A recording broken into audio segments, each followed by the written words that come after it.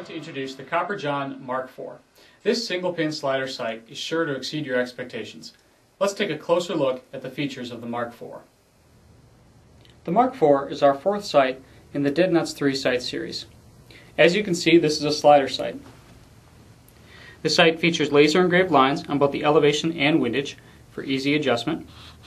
Also featured on the sight is a glow-in-the-dark tape with a pin that sits very close to the tape so your sight markings can be very accurate. The orange ShockTech ring uh, helps to absorb vibration and allows for easy sight acquisition.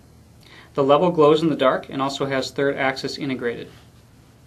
You can see here that if you happen to be a left-handed archer, you can move the level to the top as well as the pin. There are 48 inches of wrapped 0.019 fiber around the sight. The pin is all aluminum, so it's very durable. A light is included with the Mark IV and mounts right where I'm pointing.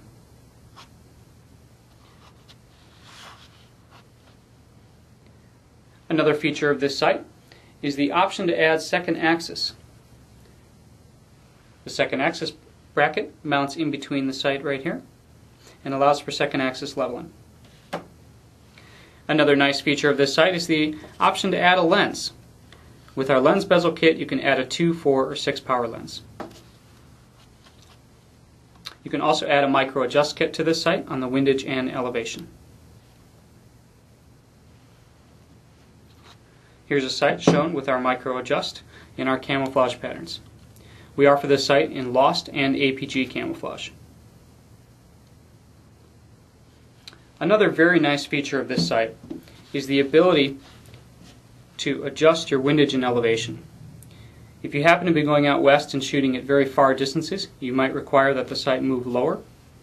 Therefore, you have six pre-tapped holes, so you can adjust the windage and elevation of the sight to suit your liking. From the entire team at Copper John, thank you for watching. For more information, you can visit us at copperjohn.com.